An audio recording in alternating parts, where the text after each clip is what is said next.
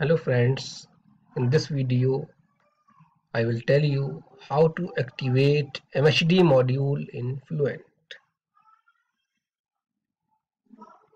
So first open Fluent and load your geometry which I have already done.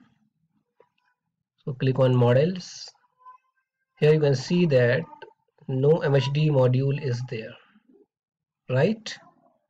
So now what you have to do click in this window means lower window on the right most side then write define slash models slash add on minus module and press enter so it will give you a list of add-ons which you can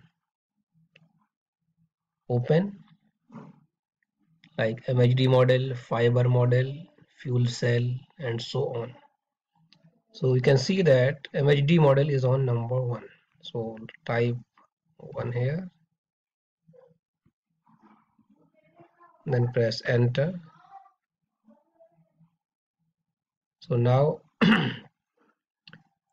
go to models and here you can see that MHD model is activated. Now double click on this module and a pop-up will appear which is showing MHD model. And whatever magnetic field you want to give you can give here. Thanks for watching video. If you like my video